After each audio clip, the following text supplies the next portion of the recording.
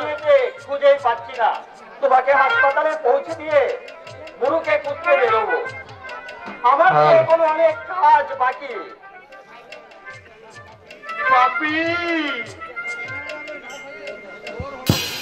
তোর হলো শুরু আর আমার হলো সারা। অথচ অথচ কত আশা ছিল। সব শেষ হয়ে গেল বাপি কাকামণি। কপাল কাকামণি। কপাল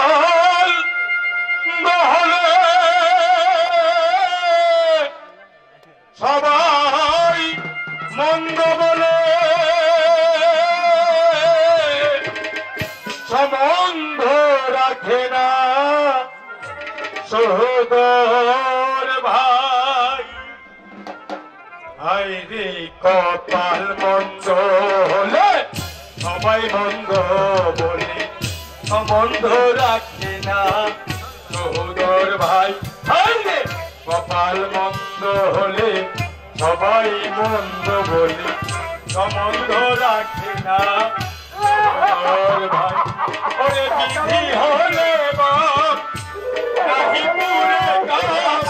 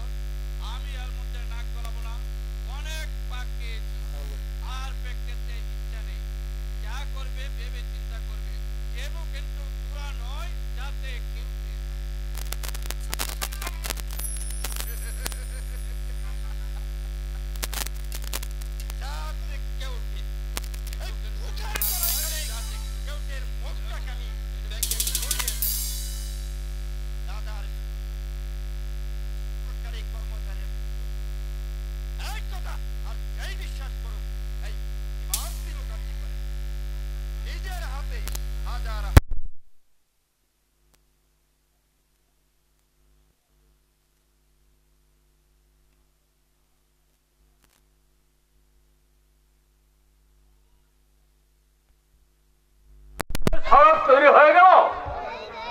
এই খবরে তোমার কি দরকার? আমিও তো এই দেশের একজন নাগরিক হ্যাঁ? সরকারের স্বার্থের সঙ্গে আমার স্বার্থ জড়িত। মোটে থেকে দোকান পর্যন্ত রাস্তা ধরে যাচ্ছে কেন?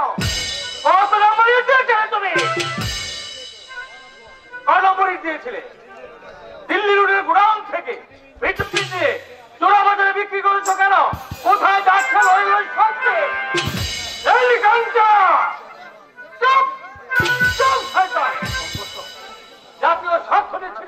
তোমরা। আর তোমাদের সঙ্গে যোগ দিয়েছে সরকারি কর্মচারী। রেহাই পাবে না রেহাই পাবে না হিমাদ্রি মুখার্জি এই জনতার পরে তোমাদের বিচার হবে। আমি তোকে সাবধান করে দিচ্ছি, গুরুমা। বাঁচলে আমি চটে দেবো। আরে যা যা বেটা তোর এই গানটা আমি নিজের চোখে দেখেছি লরি করে স্টোন চিপ তুমি বড় লোকের বাজারে বিক্রি করে দিয়েছিল চোরের আমার বড় গলা। তুমি কিন্তু আমার দরজার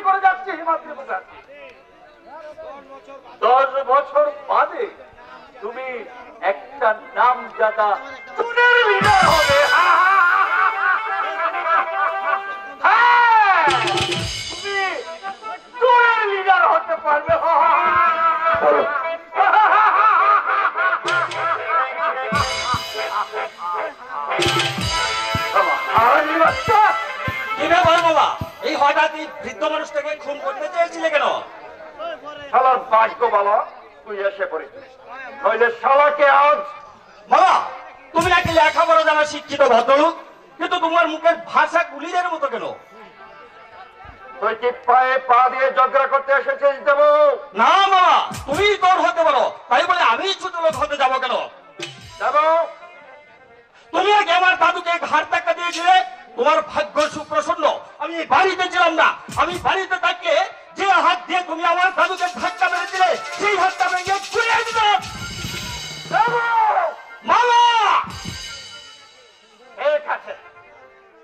আমার মনে রইল। আমি মুখে দেব না। আমি কাজাই দেখিয়ে দেব। মামা ছোটবেলা থেকে একটা গোস্ত সাপকে দুধ কলাপ দিয়ে পুষেছি বড় হয়ে সে তো যুবক মারতেই চাইবে। কিন্তু মনে রাখিস আমার নাম হিমাদ্রি মুখার্জি। মারকে আমি হজম করব না। মামা এদের রক্তের অহংকার আমি চূর্ণ করবই। অশুভ শক্তির কাছে আমি কোনোদিন মাথা নত করিনি। আর আজও করব না যারা সরকারের কর ফাঁকি দিয়ে ঘরে তুলেছে বিলাসের সৌধ, তাদের উপর আনব আমি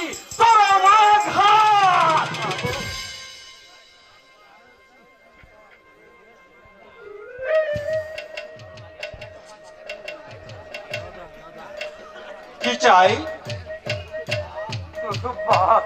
ভাত। আর তোদের কিছু খাইনি বাবু। দয়া করে আমাকে একটু বাদ দেবেন বাবু। আমি আমি বড় অবাগা। এত ডাকি এত কাঁদি। তবু জমিরাজের দয়া হয় না। এই বৃদ্ধ বয়সে ভিক্ষে করছেন কেন? ছেলে বলেন এই আপনার? এর উপরে কারও হাত নেই বাবু।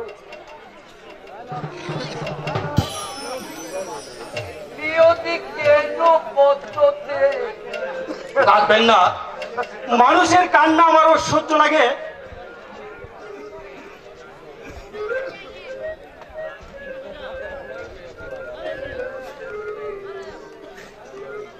এই নিন, কোন হোটেলে গিয়ে কিছু খেয়ে নেবেন।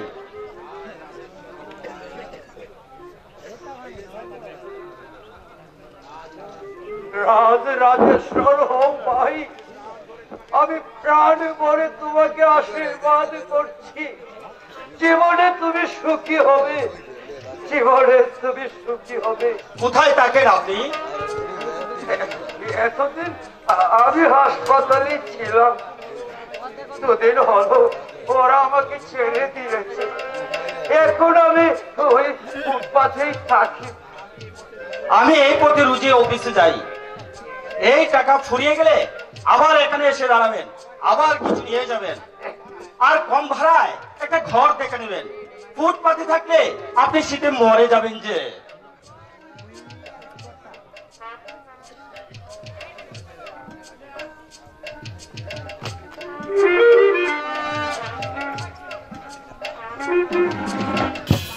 মেসমশাই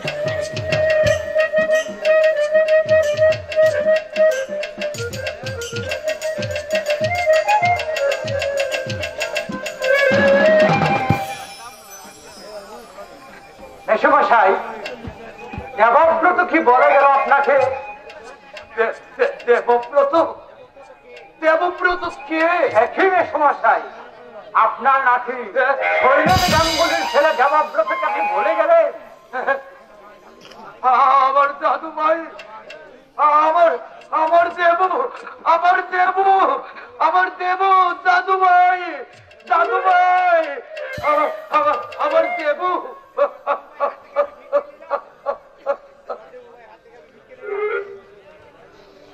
আমার আমার দেবুর হাত থেকে আমি দীক্ষে দিলাম।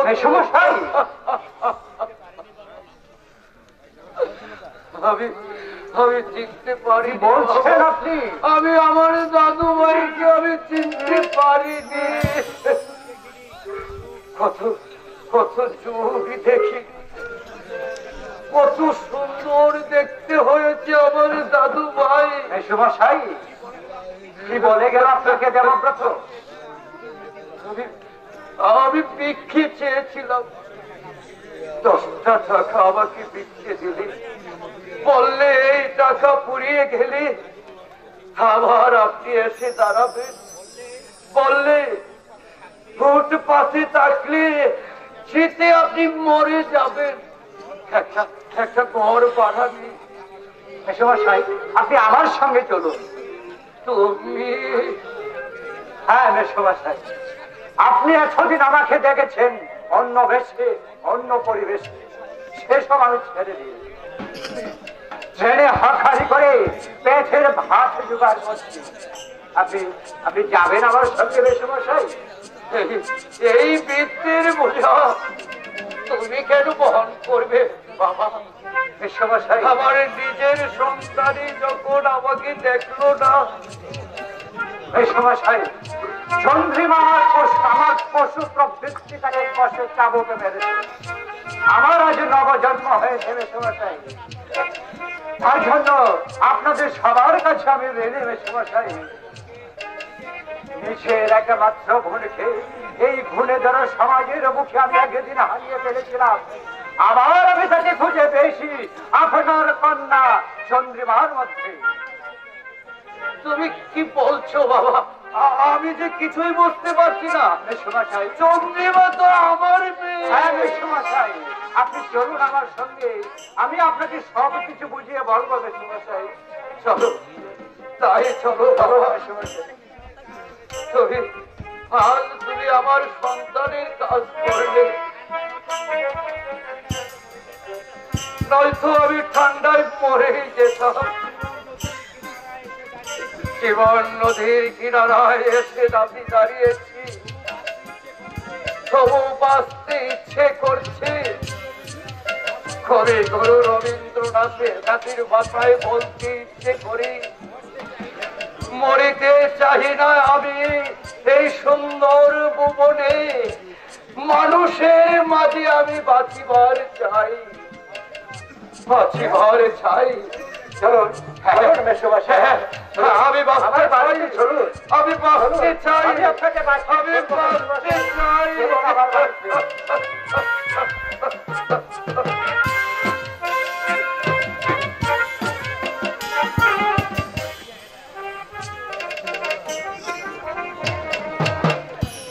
আপনি ওকে বুঝিয়ে বলুন দাদা?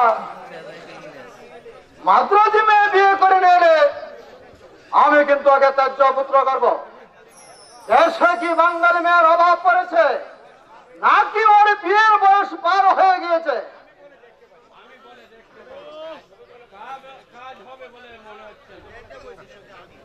ছোটবেলা থেকে বড় ভীষণ জেদি তার উপর তোমার ব্যবহার ওর উপর চাপ পড়ে যায়। কিন্তু দাদা দার্জিলিং যাওয়ার করতে যায় ইচ্ছে ছিল না ভুল করে পাঠালে তোমরা জোর করে পাঠিয়েছিল বলে আজকের এই সরকারি চাকরিটা পেয়েছে। এখানে পরে থাকলে কেরানিগিরিও জুটলো না। শৈলেন বলুন রবীন্দ্র শরৎচন্দ্র বঙ্কিমচন্দ্র মেঘনাথ শাহ আরও বাংলার কৃতি সন্তানরা। জীবনা প্রতিষ্ঠা পেয়েছিল। তারা সবাইকে কনভেন্টে গিয়ে শিক্ষা লাভ করেছিলেন। বাংলার বাঘ আশুকুঠারা ঈশ্বরচন্দ্র বিদ্যাসাগর সাহেবের স্কুলে পড়েছিলেন। ওদের কথা ছেড়ে দে। ওরা হচ্ছে জন্ম মহাপুরুষ। আসলে এটা হচ্ছে মনের কমপ্লেক্স পয়সা থাকলে মানুষ একজন বিলাসিতা করে। এই এক ধরনের বিলাসিতা। আপনি ওকে বুঝিয়ে বলুন, দাদা? ও যদি ওই মাদ্রাজি মেয়েটাকে বিয়ে করে আমার এই বিশাল সম্পত্তির কানা করেও আমি তাকে দেব না।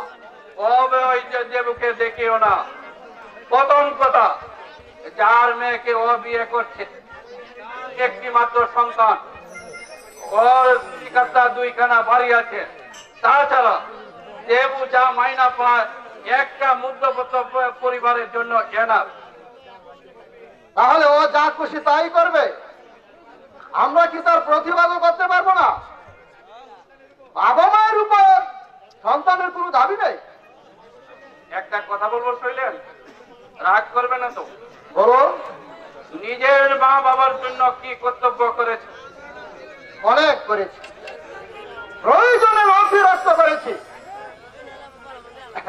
গাড়ি করে প্রত্যহ গঙ্গা নাইতে পাঠিয়েছি। খাওয়া পড়ার অভাব রাখিনি। চারুতলা বাড়িতে বাস করাচ্ছি। করে কিন্তু তার মধ্যে এক আন্তরিকতা ছিল না। তোমার বাবা যে নির্দেশ তার জন্য কি করেছ? বুঝ করেছি। না পেলে আমি আর কি করতে পারি? কাগজে বিজ্ঞাপন দিয়েছিলে, পুলিশে অ্যাডভার্টাইজ করেছিলে। কি- মুশকিল! আমার সময় কোথায়? আপনি নিজের চোখে দেখতে পাচ্ছেন। সময় ঠিকই ছিল। ছিল না তোমার মানবতা দাদা কর্তব্য আর এক নয়। তোমার ছেলে কাগজে বিজ্ঞাপন দিয়েছে নিজে কুচ্ছে কুটা শহর পুলিশে ইনফর্ম দিয়েছে অথচ তুমি দাদা! দাদা! ও দাদা! দেবর বিয়ে নাকি হয়ে গেছে দাদা? হতে হতে পারে মানে? তুমি নিজে দাঁড়িয়ে থেকে নাকি রেজিস্ট্রি ম্যারেজ করিয়ে দিয়েছ? ভাই হয়ে তুমি এমন সত্যি করতে পারলে দাদা। আমার আমার একমাত্র সন্তান। তুই অযথা উতলা হচ্ছ শর্মা। বিয়ে এখনও হয়নি। সাত দিন আগে নোটিশ দিতে হয় যে তাই ওরা দিয়েছে। দুইজন সাক্ষীর প্রয়োজন। তাই শ্রীমান আমার নামটাও ঢুকিয়ে দিয়েছে। দাদা দাদা তুমি বুঝিয়ে বলো দাদা। এই বিয়ে হবে না হতে পারি না। তাহলে ব্যারিস্টার চ্যাটার্জিকে আমরা কথা আমাদের কথার খেলাপ হবে। ওরা আমাদের মুখে থুতু দেবে। সোসাইটিতে আমরা মুখ দেখাতে পারব না দাদা। কখন আসবে দাদা? সাতটার মধ্যে আসতে বলেছি। আমার মনের অবস্থা অবশ্যই তুমি বুঝতে পারছ দাদা। এই ছেলের জন্য আমরা কি করেছি। আর আজ সেই ছেলে আমাকে মা বলি ডাকে না। ব্যথা, আমি আমি। শুধু কি তাই? একটা কড়াই করা ভাঙ্গা তালা যত্ন করে আলমারিতে তুলে রেখেছে। বলেছে, দশ বছর মা যখন বুড়ি হবে এই মাঠে গেঁথে দেবে। হা, হা, হা, হা, হা। তুমি হাসছো দাদা। কান্নায় আমার বুকটা ফেটে যাচ্ছে। ও ছেলেকে দিয়ে কিছু বিশ্বাস নেই। হয়তো ওই ভাঙা থালাতেই আমাকে আসতে পারি বাতুল বাড়ি- বাড়িতে আসলে ফর্মালিটি মেনটেন করতে হয় দেবো। ফর্মালিটি প্রয়োজন হতো না। কিন্তু তোমার ভাই আমাকে ওয়ার্নিং দিয়েছে আমি যেন তোমাদের বাড়িতে না আসি। কথা ভাবতে তো দেবো। তোর মাকে আমি বুঝিয়ে বলছি। তোর মা কি বলতে চায় শোন। আমি বাড়ির মধ্যে যাচ্ছি। যাবার সময় আমার সঙ্গে সাক্ষাৎ করে যাস কথা কি ব্যাপার? কিছু বলবে মা? দেবো। লক্ষ্মী বাবা আমার ওই মাদ্রাজি মেয়েটাকে তুই বিয়ে করিস নি বাবা। তাহলে লোক সমাজে আমি মুখ দেখাতে পারব না। ওরা প্রচুর দেবেন তুলে তাছাড়া মেয়েটিও বিয়ে পাস। ও পূর্ব সুন্দরী। বাবা বাবা আমি তোর হাত ধরে বিরতি করছি বাবা। আমার মুখে তুই কালি লেপে দিসনি। তোকে ঘিরে আমাদের কত স্বপ্ন কত আশা। আমার সিদ্ধান্ত বদল হবে না।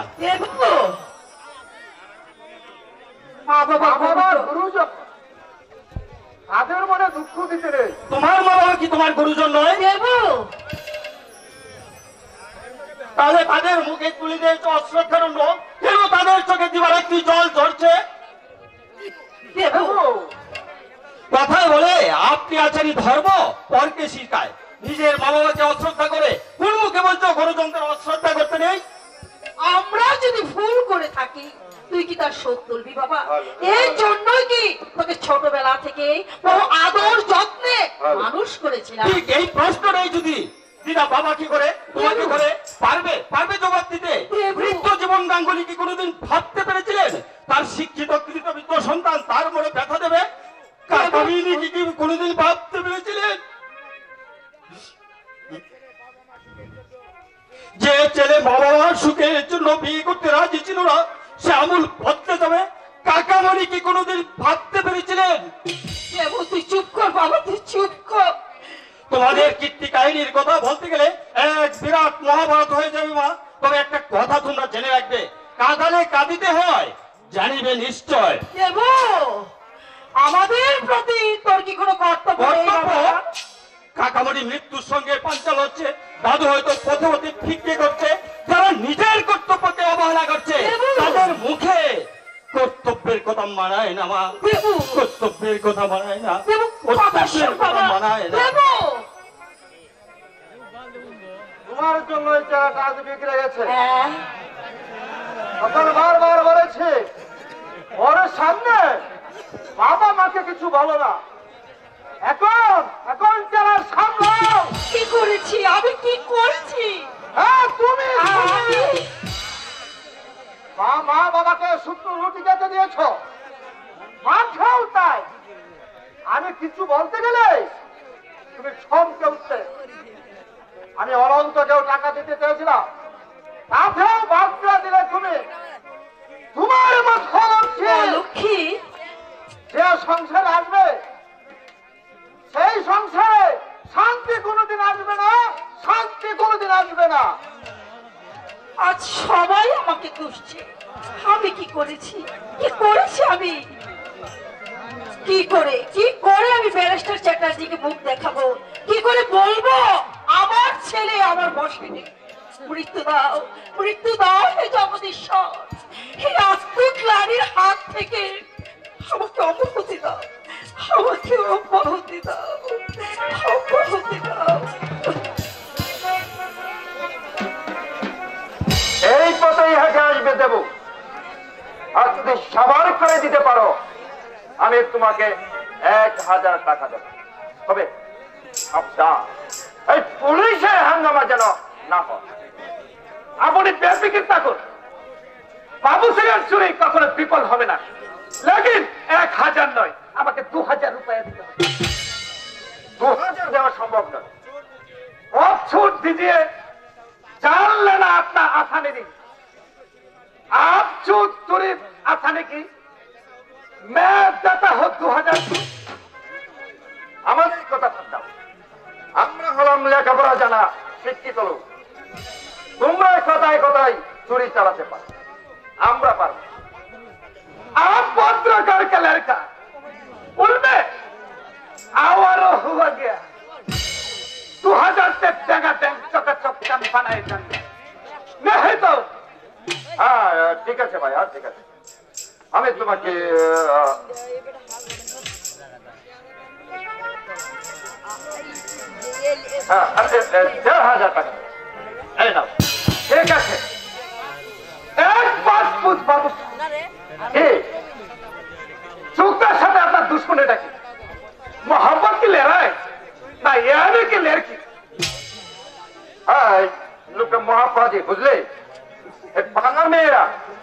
ভোর বয়ে পথ চলতে পারছে আর বেটা আবার আয়কর অফিসে চাকরি করে। বাপ মায়ের মতে একটা মাদ্রাজি মেয়েকে সে বিয়ে করছে। হ্যাঁ তুমি বলো ভাই এতে বাপ মায়ের আঘাত লাগবে না? সে তো জরুর লাগবে। হ্যাঁ, হ্যাঁ,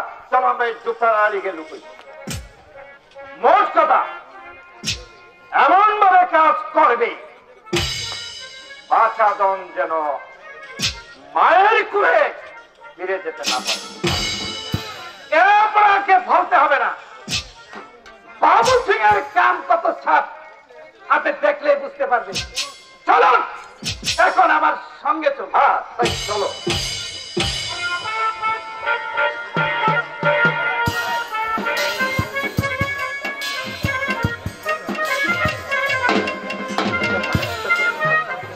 হেঁটে যেতে তোমার কষ্ট হচ্ছে না তো দিদা? না রে দাদা ভাই না। তুই আমার সঙ্গে থাকলে আমি হেঁটে হেঁটে স্বর্গেও তাই বুঝি? হ্যাঁ রে বেইমান নিজের বিয়ে তুই নিজেই ঠিক করলি। এদিকে আমি বুড়ি রইলাম তোর আশায়। আমার আশায় মানে? পারে। তোর দাদু তো পালিয়েছে। এই এই বুড়ো বয়সে আমার একটা স্বামী চাই না। আমি ভাবলাম মায়ের মতো তুমিও বুঝি আমার জন্য পাত্রী ঠিক করে রেখেছো। হ্যাঁ হ্যাঁ প্রতীক্ষা করো। তোমার রামচন্দ্র দাদু কিন্তু আসছে। হ্যাঁ রে দাদু ভাই কোনো খবর পেয়েছিস? পাইনি তবে শিগগিরই পাবো বলে আশা করছি। সব কটা কাগজে ছবি চাপিয়ে বিজ্ঞাপন দিয়েছি। পুলিশের মেশিন স্কোয়াডেও খবর গেছে। আর রেডিওতেও অ্যানাউন্স করেছি। রে দেবু। বলো। তোর মা কান্নাকাটি করছিল। আমার না ভাবি নাত বউ এসে আমার সঙ্গে ইংরেজিতে কটমট করে কথা বলবে না তো? দেখিস দাদু ভাই আমি হলাম গিয়ে মুখ্য সূক্ষ্ম মানুষ হ্যাঁ? তুমি নির্ভয়ে থাকো দিদা। রত্না ইংরেজিতে কথা বলে না। বলে না দিলে তুমি বুঝতে পারবে না। ও মাদ্রাজি মেয়ে শান্তিনিকেতনের চাকরি ছিল। ভালো রবীন্দ্রসঙ্গীত গায়। তোর মা কান্নাকাটি করছিল। কেন? কাল আমাকে বললে দেবুকে আপনি একটু বুঝিয়ে বলুন মা। ও যদি মাদ্রাজি মেয়েকে বিয়ে করে তাহলে আমার আত্মহত্যা ছাড়া কোনো উপায় থাকবে না। তাই আমি বলছিলাম কি দাদু ভাই? এ- এ বিয়ে? না করলে কি নয়? আমি করবই দাদু। দেখো দিদা তোমার যদি মত না থাকে তুমি বলো। আজ আমি বিয়ের নোটিশটা ক্যান্সেল করে দিচ্ছি। কিন্তু মা বাবার হয়তো জেদের কাছে আমার ভালোবাসার অপমৃত্যু ঘটাতে পারব না। দাদু ভাই কিন্তু কোন মুখে মা বলে আজ আমি অন্যায় কাজ করতে যাচ্ছি। যেদিন যেদিন তোমার বুক থেকে আমাকে কেড়ে নিয়েছিল সেদিন সেদিন তোমার দিকটা একটু চিন্তা করে দিদা। তখন বুঝতে পারেনি আজ বুঝতে পারছে তাই তো অনুতাপ। অনুতাপ? বলতে পারো বলতে পারো দিদা কোন অনুতাপের বিনিময়ে ফিরে পাবো আমার হারানো শৈশব? কোন অনুতাপের বিনিময়ে ফিরে পাবো কাকামণির স্বাস্থ্য? কোন অনুতাপে জোড়া লাগবে তোমার ভাগ্যমন দাদু ভাই। যেদিন যায় শত মাথায় কুটকেও সেদিন আর ফিরে আসবে না। শৈশব কৈশোরের অশ্রু জোড়া স্মৃতি আজ আমি ভুলতে পারছি না দিদা। দার্জিলিং গিয়ে তিন দিন আমি কাইনি ঘুমাইনি। সমানে কেঁদেছি। তোর ভালোর জন্য ওরা তোকে দার্জিলিং পাঠিয়েছিল। আবার তুমি ভুল করছ দিদা। আমার ভালোর জন্য ওরা আমাকে দূরে সরিয়ে দিতে চেয়েছিল। অন্য কারণে। অন্য কি কারণ? আছে দিদা আছে সন্তান হয়ে সে কথা বলতে আমার কণ্ঠরুদ্ধ হয়ে আসছে। লজ্জায় আমার মাথা হয়ে আসছে। দশ বছরের মধ্যে বাবা এত অর্থ কি করে জোগাড় করেছে জানো? কেন কন্ট্রাক্টারি করে? কন্ট্রাক্টরি করে তো নিশ্চয়ই কিন্তু প্রতিটা কন্ট্রাক্টরের পিছনে জমা হয়ে আছে অনেক লেস অনেক কালিমা তোমার বৌমা পার্টিতে নাচতে যেত মনে আছে তোমার? থাক দাদু ভাই থাক। বলতে আমি চাই না বলতে আমি চাই না। উত্তপ্ত হয়ে অবচেতন মঞ্চ থেকে বেরিয়ে আসছে তীব্র বিনা বুকের মুদ্রা কিলবিল করছে কতগুলো ঘুগ্রু সাপ। শত চেষ্টা করেও ওদের আমি শ্রদ্ধা করতে পারছি না দিদা। ওদের আমি শ্রদ্ধা করতে পারছি না।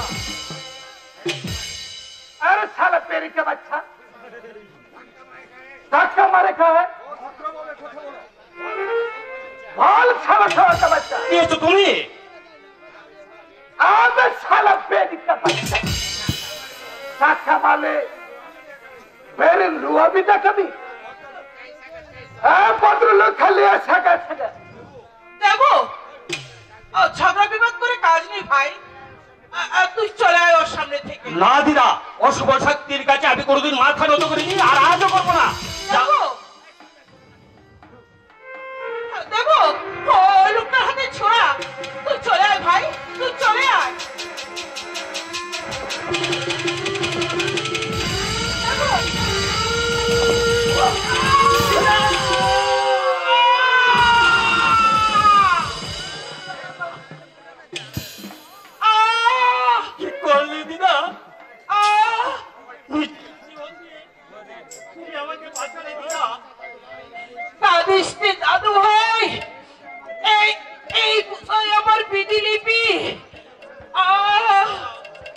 আমি তোমাকে মরতে দেবো না দিদা আমার জীবনের সর্বস্ব দিয়ে হলেও আমি তোমাকে বাঁচিয়ে তুলবো দিদা।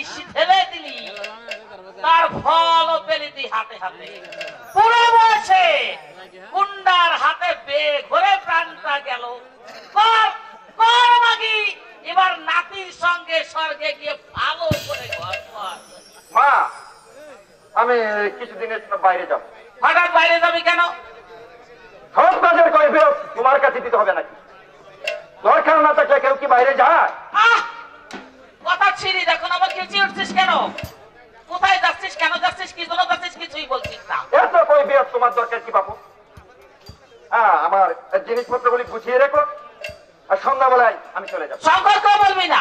না। আর কেউ যদি জিজ্ঞেস করে বলবে যে আমি জানি বাস ওমা তাহলে তো দাদাকেও বলবি না? তোদের ব্যাপার স্যাপার আমি কিচ্ছু বুঝি না বাবু এক মাস বাদে তোর ছেলের অন্নপ্রাশন। আজ বলছিস তুই বাইরে যাবি। তাও কোথায় যাচ্ছিস কেন যাচ্ছিস কি জন্য যাচ্ছিস কিছুই বলছিস না। তোদের যা খুশি কর আমি কিচ্ছু জানি না আমি কিচ্ছু জানি না। মা! দিদির শাশুড়ি নাকি রাত্রে হাসপাতালে মারা গেছে? আর শুনেছো? মরবে না। এত বাপকে ধর্মে সইবে ভেবেছিস? দেবু আসবার পর সাত দহন করে লাগিয়েছে। সুরমা নাকি খেতে দেয়নি, পড়তে দেয়নি, জ্বালা যন্ত্রণা দিচ্ছে। মিথ্যে কথা বলার ফল হাতে হাতে পেয়েছে হারাম খুব ভালো হয়েছে, খুব খুব ভালো হয়েছে। এবার নাতির সঙ্গে ভালো করে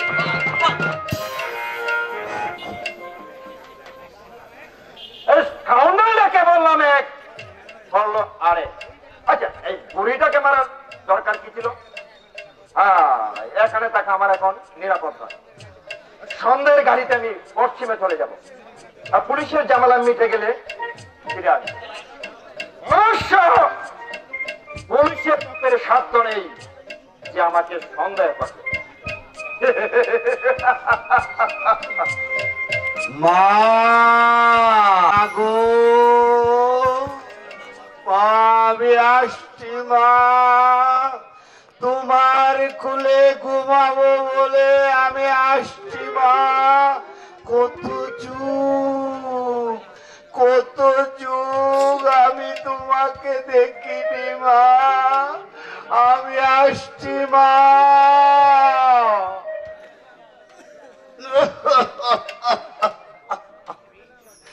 এই বিংশ শতাব্দীর জঞ্জাল আমরা। এমনি ভাবে তিলে তিলে আমাদের মৃত্যু হলো।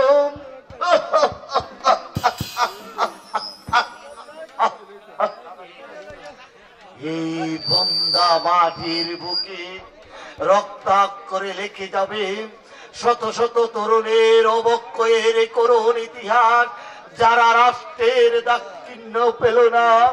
সমাজের শুভেচ্ছা পেল না। বেকারত্বের বোঝা মাথায় নিয়ে প্রতি মুহূর্তে রক্ত জড়িয়ে গেল। তারা কারা? কারা? তুমি? আমি? কে? আরও অনেকে অপেক্ষা করো নুরুর মা। অপেক্ষা করো। চল্লিশ বছর আগে একসঙ্গে আমরা জীবন শুরু করেছিলাম। আজ আমাকে জীবন নদীর তীরে দাঁড় করিয়ে তুমি একা চলে যাবে।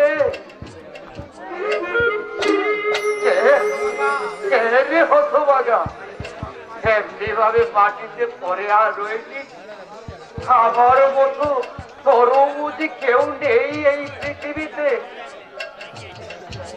আমাকে একটু জল দিতে পারো? জল? নুরু! নুরু! নুরু! কে? বাবা? বাবা? বল বল নুরু। বাবা আমি চলে যাচ্ছি পুঞ্জীবত ব্যথা নিয়ে। এই পৃথিবীর মায়া ত্যাগ করে আমি চলে যাচ্ছি বাবা। ওরে না ওরে না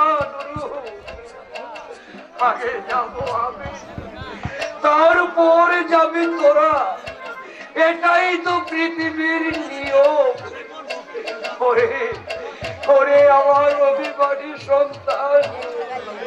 তার উপর অভিমানী করে তুই চলে যাচ্ছিস। না বাবা আমার কারও প্রতি অভিযোগ অভিমান নেই। এই নিষ্ঠুর পৃথিবী ছেড়ে আমি চলে যাচ্ছি বাবা। আমি তোকে আমি তোকে ভিক্ষে করে বাঁচিয়ে তুলবো। আমার আমার সময় ঘুরিয়ে এসেছে বাবা। বাবা ওই দেখো মাধুরী চিতা জ্বলছে ওই চিতার মধ্যে আমার মা পড়ছে। আমি ওই চিতায় জ্বলবো বাবা।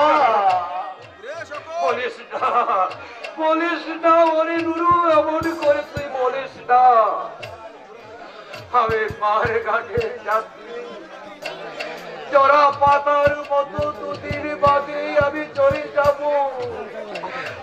আগে তুই কেন যাবি বাবা? তুই কেন যাবি? বাবা, এই তিলে তিলে মৃত্যুর চেয়ে একবার কি নিভে যাওয়া ভালো না? এই ভগবানকে কত রাখি কত কাঁদি, তবু মৃত্যু আসে না। মৃত্যু দাও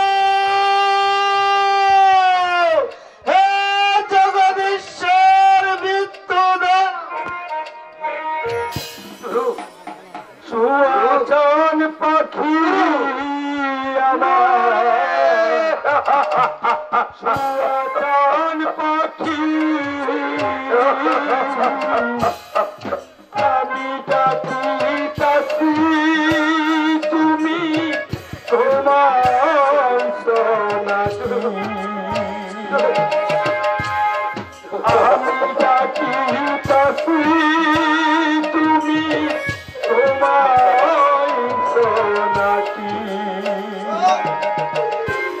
ওই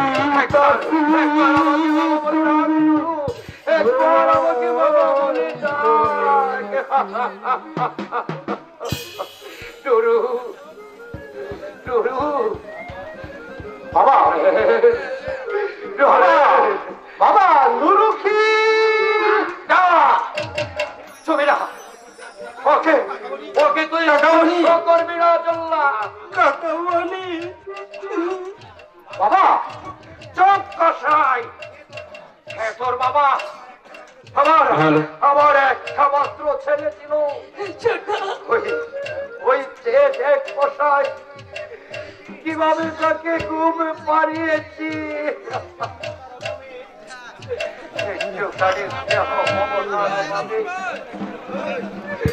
একটুখানি স্নেহ মমতার অভাবে আমার নুরু চলে গেল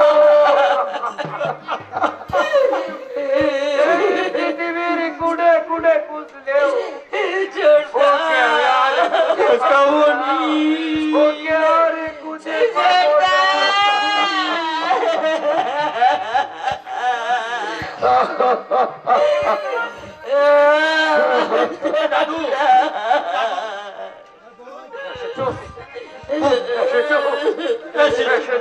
তুমি আমাকে চিনতে পারছ দাদু। আমি তোমার দেব তোমার দেব ব্রত দেবব্রত, দাদু। আমার দাদু ভাই।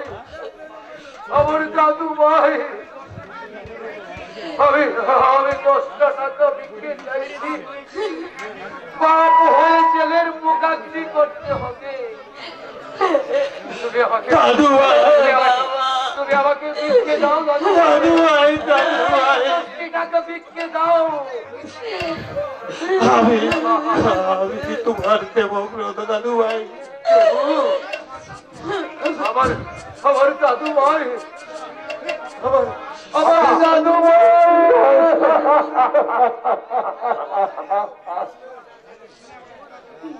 বাবা বাবা তুমি আমাকে ক্ষমা করো বাবা। তুমি আমাকে ক্ষমা করো। দাদু বাবা মা অনুতপ্ত। তাদের হয়ে আমি তোমার কাছে ক্ষমা চাইছি দিদা দাদু। দিদা ক্ষমা করে গেছে। তুমি ওদের ক্ষমা করে দাও দাদু। বাবা। পারছি না। ওরে দাদু ভাই আমি পারছি না। ওই দাদু। তাকে আমি ক্ষমা করতে পারছি না ভাই। হয়েছে হয়েছে দেখ। তোর কাকামণি কেমন সুন্দর বিছানায় শুয়ে ওকা করে ঘুমাচ্ছে দাদু ভাই বাবা বাবা আপনি আমাকে ক্ষমা করুন বাবা। আমি তো আপনার মেয়ের মতো। বৌদি অনুতপ্ত বাবা। বৌদিকে তুমি ক্ষমা করে বাবা! বাবা! দাদু! পারছি না। আমি ক্ষমা করতে পারছি না রে ভাই। অন্তরের অন্তঃস্থল হতে বেরিয়ে আসছে তীব্র।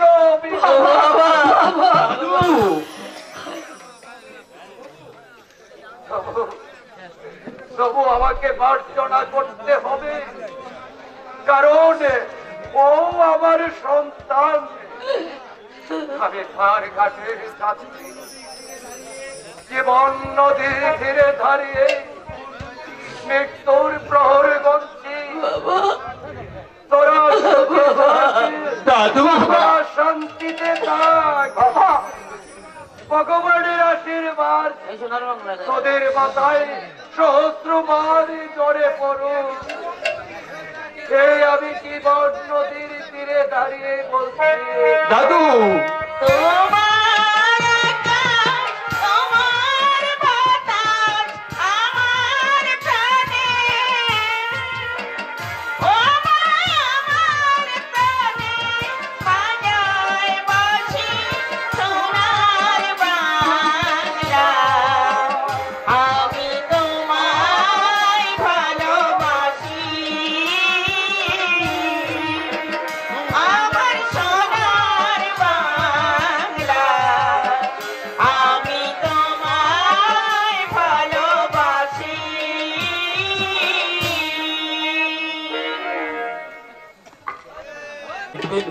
পাগলা তায়ার নাই।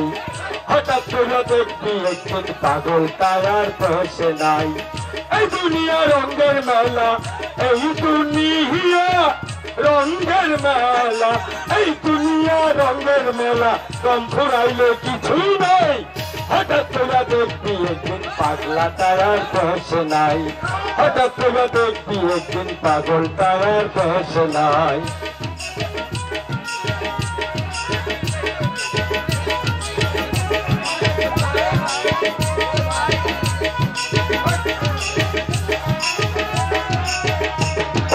লাল সালুয়ার নেংটি পরা।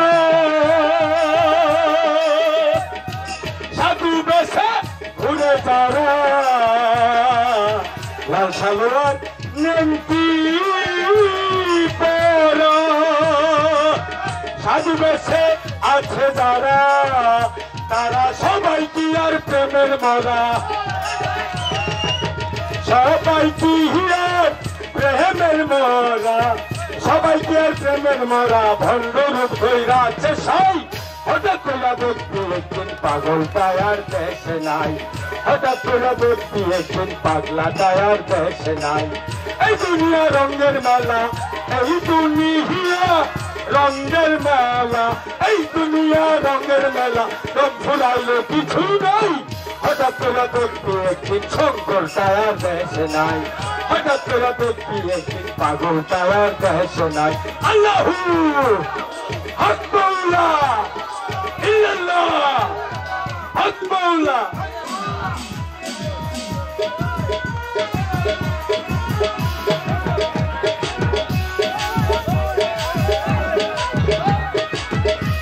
আমরা চলে যাব।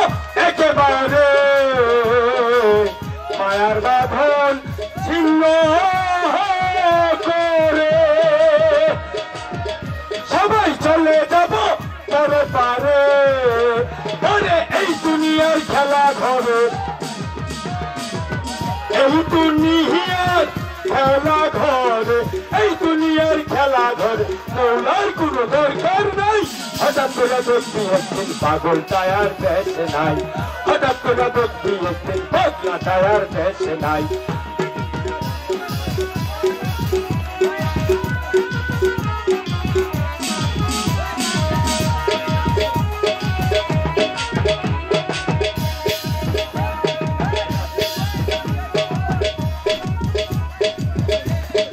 মায়ার বাঁধন ছিন্ন করে।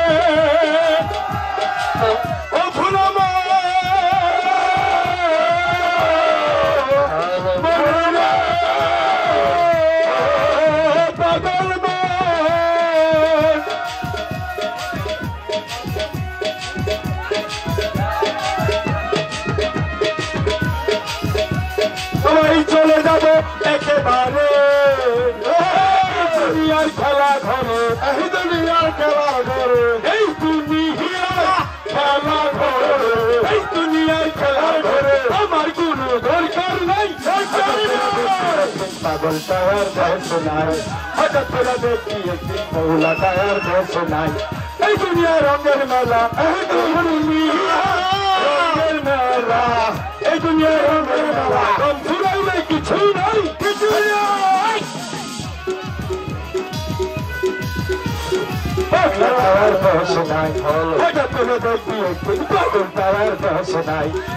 তুলে দেখবি পাগল টায়ার বয়স নাই হঠাৎ করে দেখবি একদিন পাগলা টায়ার বয়স নাই না